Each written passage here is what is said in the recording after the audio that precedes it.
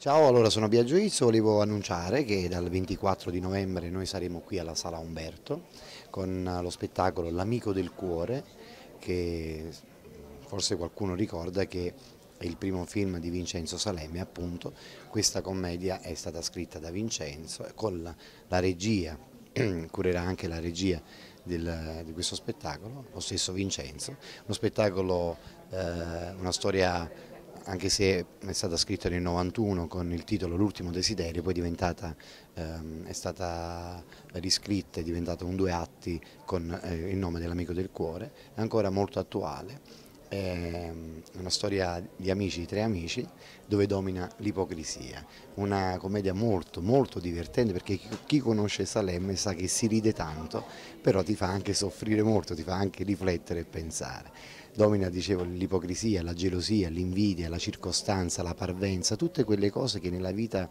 noi usiamo e anche, anche molto. Nessuno ha il coraggio di dire la verità a un amico. Solo la morte abbatte i pregiudizi, le circostanze, le parvenze e ti mette in, in condizioni di, di essere sincero. E infatti questo spettacolo racconta proprio questo.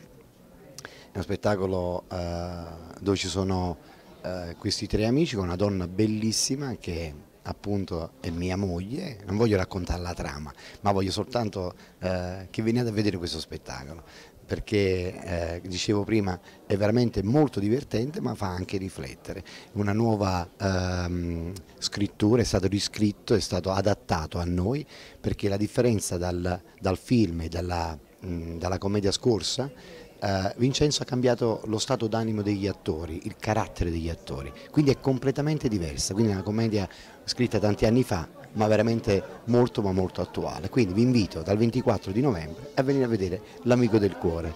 Venite.